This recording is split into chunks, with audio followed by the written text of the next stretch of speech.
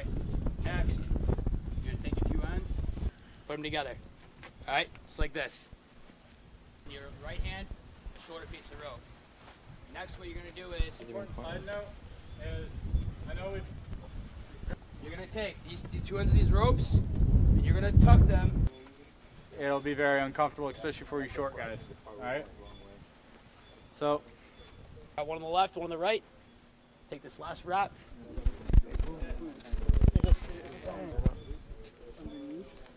You sure you have to keep swing it tight. So at that point, it's, gonna, so it's not gonna look pretty because of rope. It's just gonna be like do this, pistol grip. Okay. Bang, and then you're gonna go around. Let me go. Now.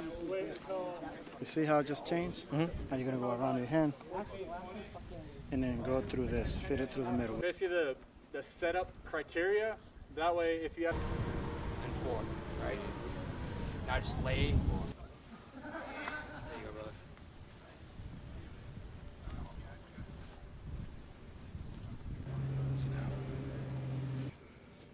whatever stays, stay right here.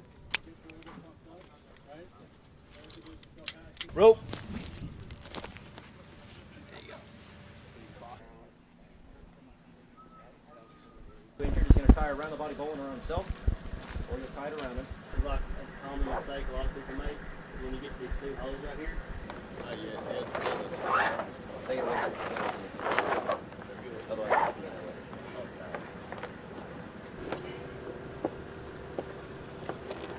turn to the rope, and it'll, it'll break. So, holes. My bad. You guys take how much? We're not going to put out.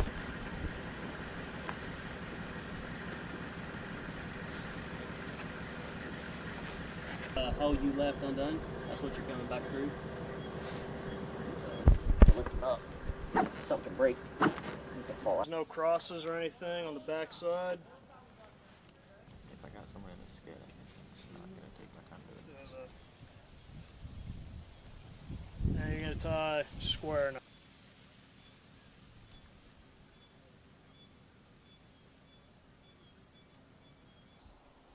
So you want it to be that. So.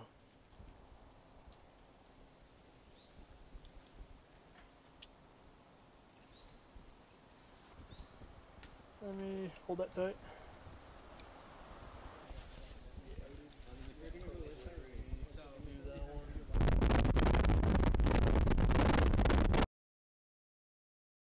Is the purpose of the basic jungle warfare skills training course?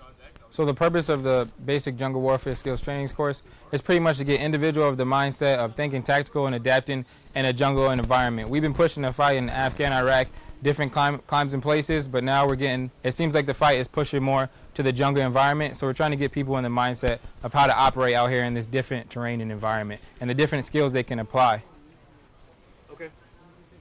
What role do you play in the jungle warfare training center? So myself, I'm one of the lead instructors with JWTC, and I'm also a HRST Maps Master. So different things we do are HRST Point Masters. We'll be doing cliff operations, rappelling procedures, some sked car- uh, casualty carries, just different operations where we're moving throughout the jungle and using the systems we learned to make it more applicable.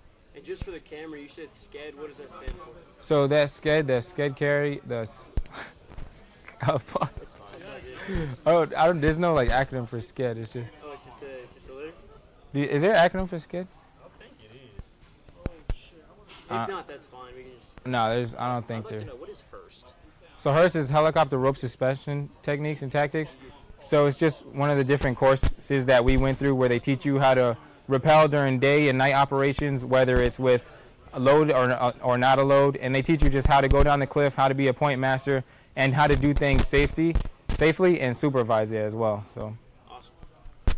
Um, what is the schedule of events for this basic jungle skills course? So within the first week, the students will get classes on jungle operations, jungle med, which one of our corpsmen or IDC will teach. Then myself or another instructor will go over land navigation and the different rope techniques and how it all applies to being out in the jungle. Then the next day we'll go over some cliff and rappelling procedures, and wi- within this week course we get into effects where they conduct PB operations in their final event, which will be that endurance course. Awesome. Uh, how does the the course itself like test the Marines that participate? Like, how is it difficult? What are the difficulties that arise? Things like that. It puts the Marines in a situation where ha- they have to know how to use what they applied in order to get over an obstacle or get a buddy out of a bad situation to prevent it from getting any worse at that point. So they learn the skills and they're able to apply them in the jungle environment. That's what it really pushes for. Awesome. Uh, what is your personal favorite part of the course? My personal favorite part of the course will probably be the e-course because you can see how different individuals work together as a unit to push through different obstacles and see how they learn how to adapt in the environment. Okay. Is there uh, anything that you'd like to add, or anything you feel we missed in these questions? Uh, no, I think you hit it on the head. Awesome. You got? Uh, yeah, that's it. Uh, thank you. Cool. Awesome. Thank you for your help, Sergeant. Yeah, no problem.